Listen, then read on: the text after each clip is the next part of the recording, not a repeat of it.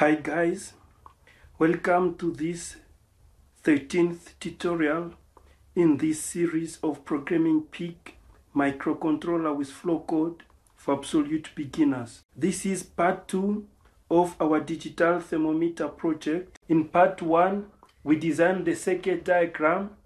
In this part 2, we're gonna write the code with Flowcode. Let us go to Flowcode and start a new project. File, new. We're gonna use the PIC 18F2580. Click OK. The first thing we're gonna do is to configure our PIC microcontroller.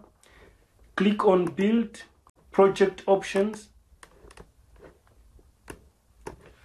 Here you can see the PIC that we're gonna use. The target is PIC 18F2580. If you wanna change it, you can click on this tab and select a different PIC microcontroller. The frequency, we're gonna set our frequency to 8 megahertz. Let's configure the chip. We're gonna disable our MCLR pin. Click on disabled. We're gonna use an internal oscillator.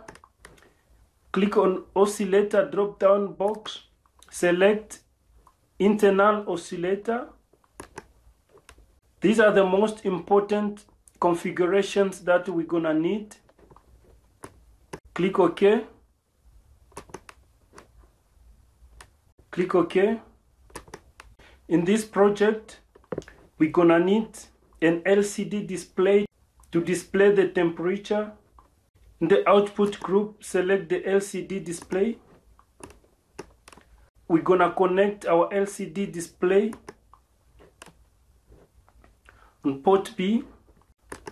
The enable bit is we're gonna connect it to port B, bit 4. So I'm gonna change this to 4. And the RS pin, we're gonna connect it to 5. Done. The other thing we're gonna need is our, our analog to digital component. As we have learned in the previous tutorial, the analog to digital converter. Select ADC. Connect our analog to digital component, which in this case is gonna be our LM35 temperature sensor to analog 0. So I'm not gonna change anything here in the X properties I'm gonna leave the default I'm gonna change here. The, the label to LM35 VREF 100 click OK. And now we can start writing our code. The first thing we're gonna initialize our LCD the component micro select the LCD start.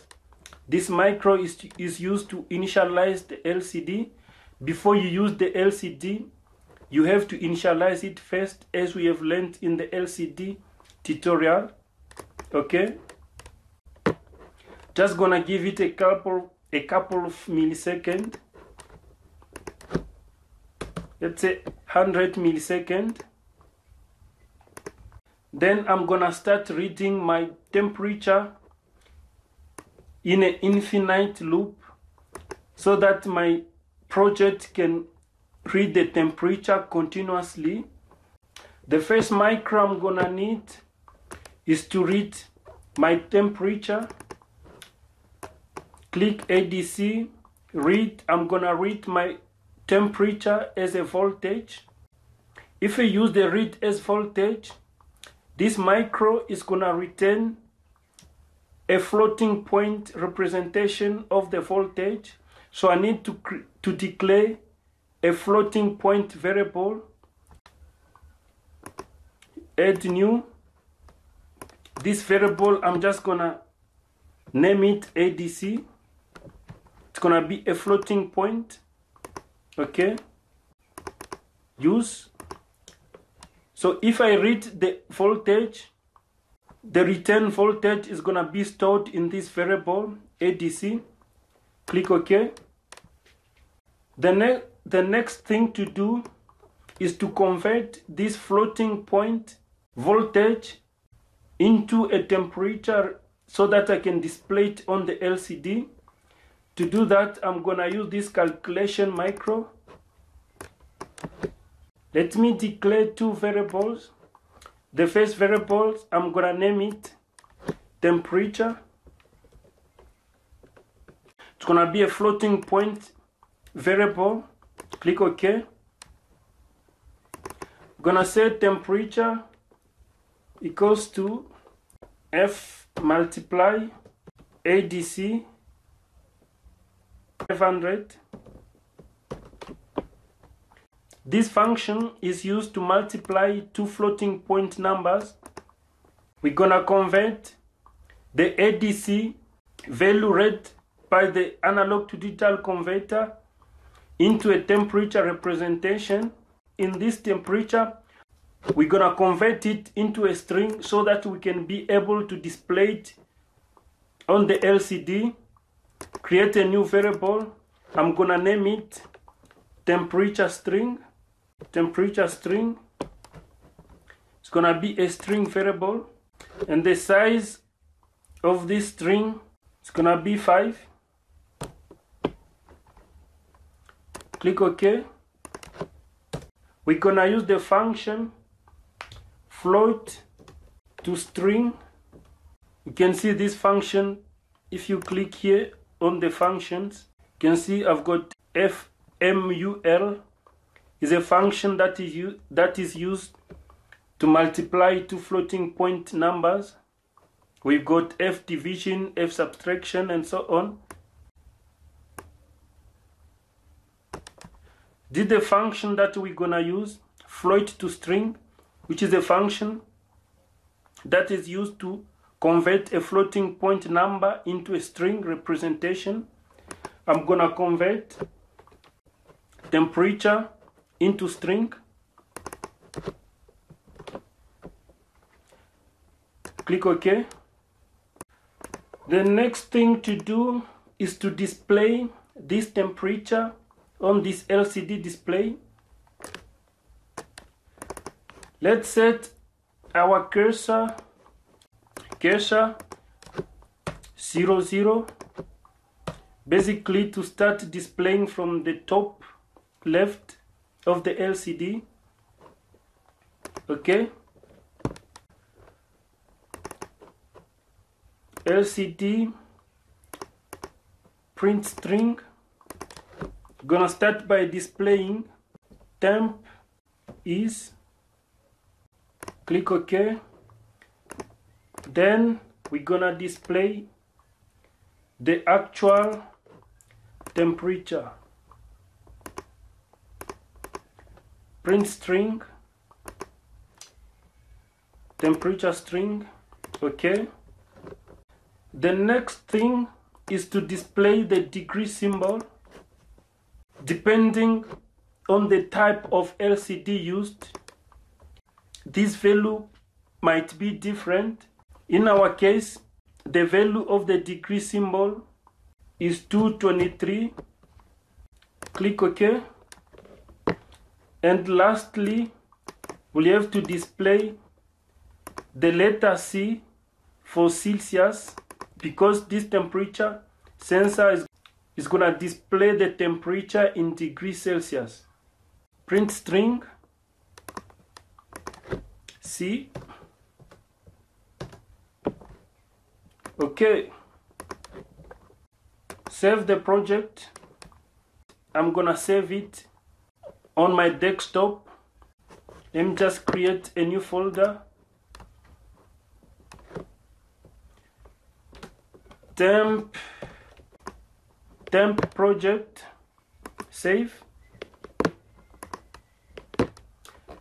if I run my project you're gonna see it's display temp can see displaying temp is 0.00 in this simulation the degree is displayed as a letter beta, but on the actual LCD, it's gonna display it as degree symbol. If I change the potentiometer, which basically represent the changing of my temperature, you can see the temperature changes as well.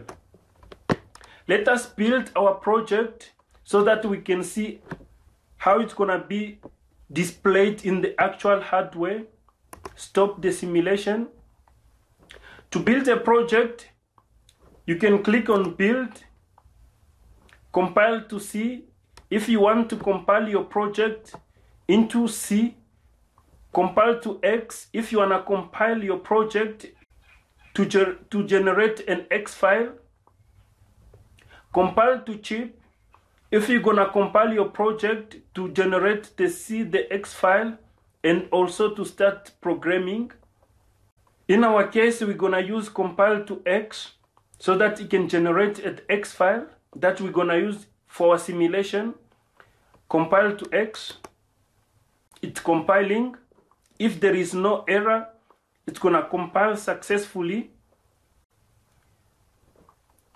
There were no errors. It finished compiling. Click OK. Let's go to our circuit diagram. Load our hex file. Right click on the PIC. Edit properties. Go to the desktop. Our project is temp project. Select the hex file. Okay. You can set the pro the frequency, but it's not gonna matter because the PIC is gonna use the internal oscillator. Click OK. Start simulation, start. And you can see it displaying temp is 19.03 degrees Celsius. If I can change the temperature, increase it, you can see the corresponding temperature is displayed on the LCD.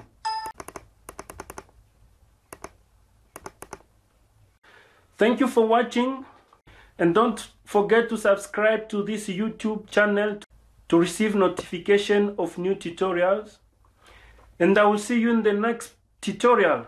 Thank you.